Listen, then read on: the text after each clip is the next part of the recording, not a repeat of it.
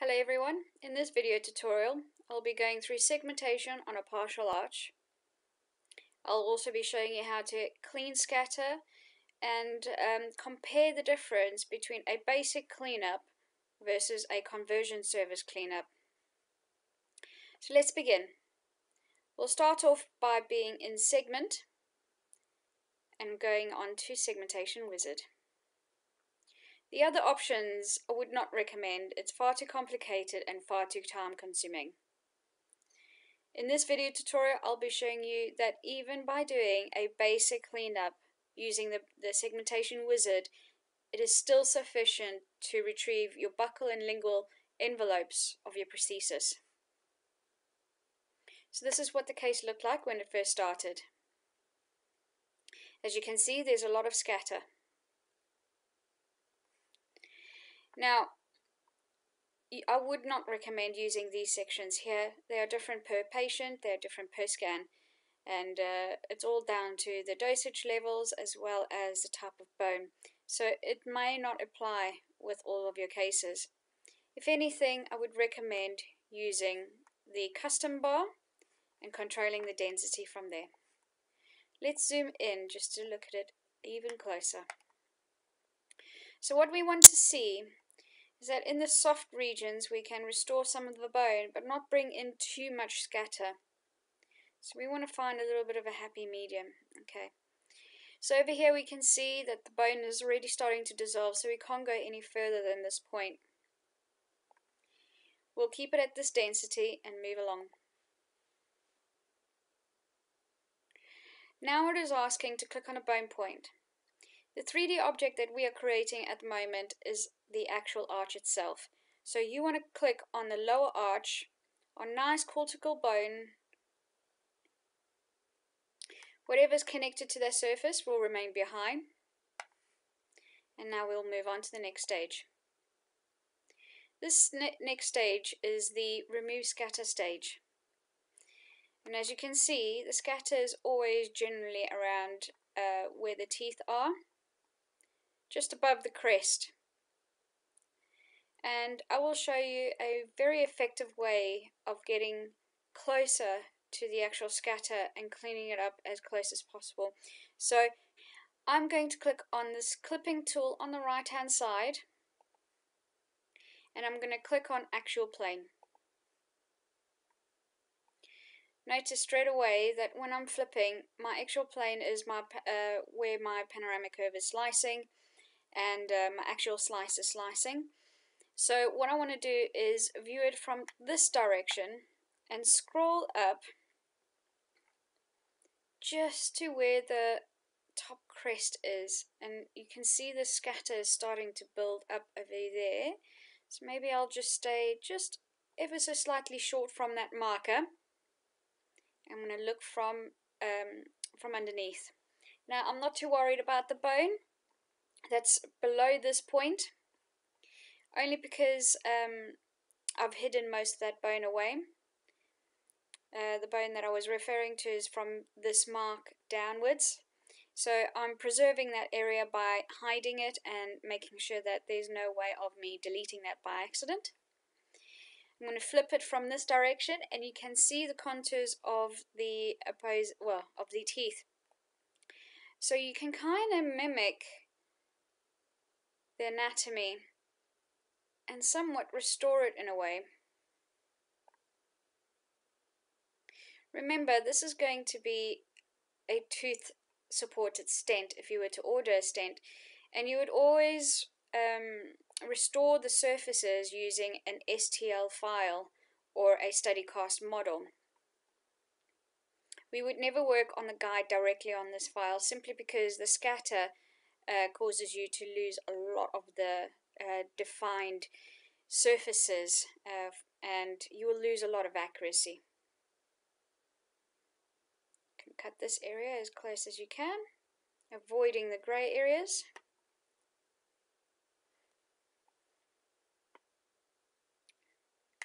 By using the clipping tool, you are using the best of both worlds, both 3D image as well as the cross-sectional uh, 2D images.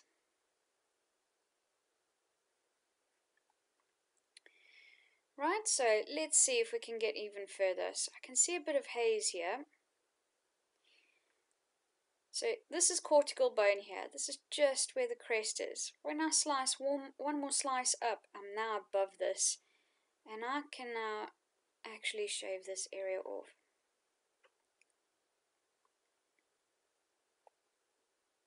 There's also two radiographic pontics scanned in this case. And um, these are the pontics over here.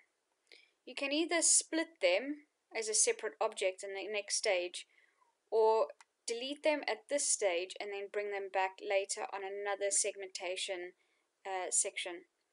I would prefer to delete them simply because they are looking a bit rough and uh, I'd like to uh, clean it up a little bit more, have it a bit more uh, defined. So what I'll do is actually delete this as well. Okay, I'm just going just above the crest there and uh, I'm just going to delete that there. Spend time doing this, nice and slowly. Um, do not rush, take your time.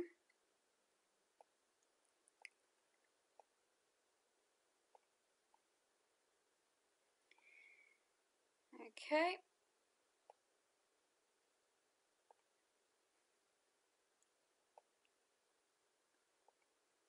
We're almost there. You can kind of make out areas that don't look natural. There we go. Let's undo this clipping tool so that we can restore the entire image. Now we can see what is left behind. So if we need to do any little fine tweaking, fine cleanup, we can do it at this stage. Right, So that's a bit of bone. Might have clipped on a bit of bone there, but that doesn't really matter. The area that you're going to be focusing on is in this region over here. And remember when you come to import an STL file or um, send over study cast models for the guide itself, all this information here will be restored.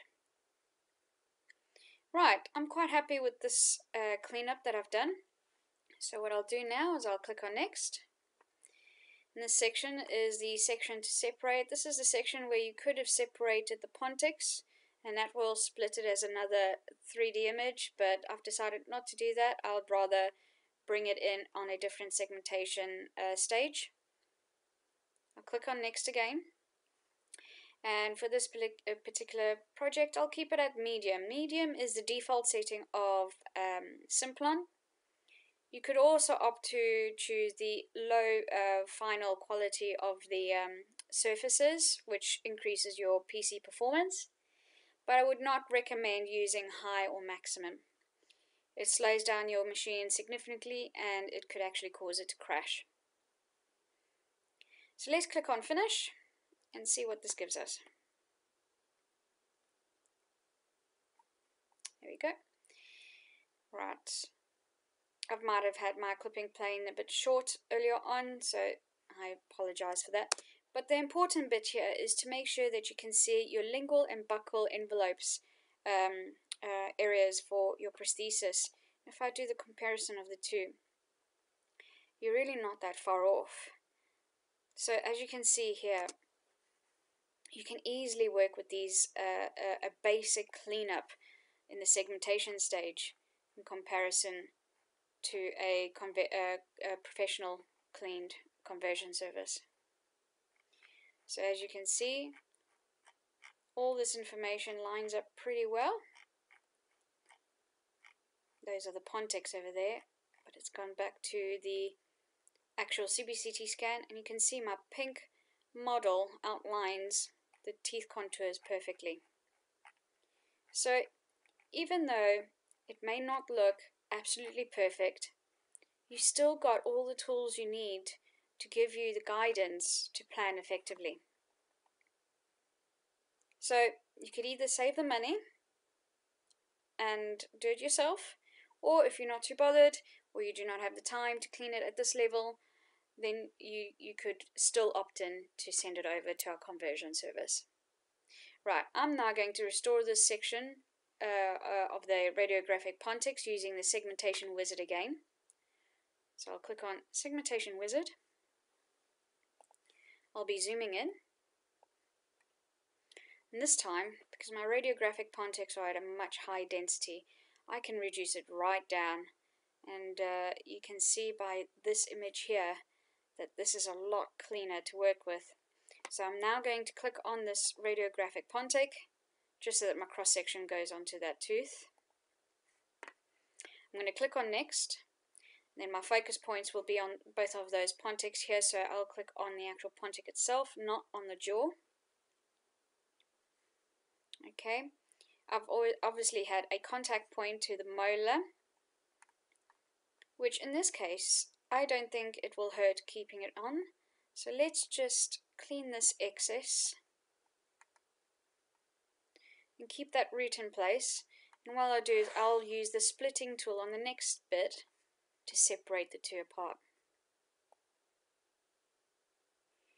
It is actually quite handy segmenting a neighboring root in your project because then you can actually see how close you are to the neighboring roots when you're placing implants. Here we are, we've got uh, two separate split objects over here and I can set it so that I've got a low sort of finish or even a medium finish, either way, don't mind, and then I'll click on finish. That will finalize the surface uh, finishing touches. And once I bring up my arch itself, you can see clearly that when I'm toggling my 3D objects down here at the bottom, I can actually individualize those Pontics as a separate object and bring them on and off on the project. So as I'm planning, I can show and hide them. Um, it is very, very useful to, to have these objects split. It gives you better control to measure things. Um, so if I click on the transparency tool at the top right of my 3D object uh, view, at the moment everything is opaque so if I want my tooth root and my Pontics to stand out, I'd right click on the 3D object down at the bottom, click on transparency and click on opaque. I'll do that for the Pontics as well. Right click on the Pontic, transparency and opaque. In this way, even when you um, have implants in place, can even hide the jaw and see how close your implants are to the neighboring roots. This is very handy. Now, because I've only got one of the roots over there, I can also bring back this information here. Okay, I mean, you can kind of make out where the socket is, but it is a lot better to have a 3D object like this to stand out a lot more clearly. So I'm now going to show you how you can restore that canine as a uh, segmented tooth. We'll go on to segmentation wizard. Make sure your cross section is on the actual canine itself. Let's zoom in so that we can see what we're doing. Our focus point here is the root itself. So you want to dissolve the arch just enough so that you can see the root. Now if the root tip starts to dissolve, that is not an issue. It's the width that is important here because when you come to place your implant next to it, you do not want the width to dissolve and shrink because you need to know exactly that root, uh, you need to know exactly where that root is. If the root tips dissolve, that is fine. You're not actually placing an implant from this direction anyways. So I would say this is a happy medium. I do not want to dissolve the root any further than this, so I'm going to have to do a little bit more cleanup around this canine. So I'm going to click on next. And I'm going to click on the actual crown of the canine itself because that's the object I want to remain in within my 3D cleanup stage.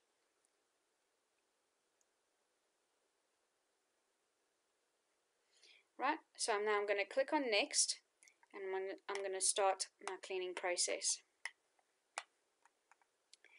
So we know we've done all this bit here, so don't waste time, just cut that off without thinking. There we go. Most of it has already been um, removed. That's because there was no joining. Once I've cleaned that area off, there was no joining connection to this object over here, which is great. It saves you a lot of time in cleanup. we've just got a little bit of excess here. So what we're going to do is just reshape that root. So follow the contour of the root itself. Just delete that excess. You could keep the rest of the pontics here. It does no, it doesn't do any harm.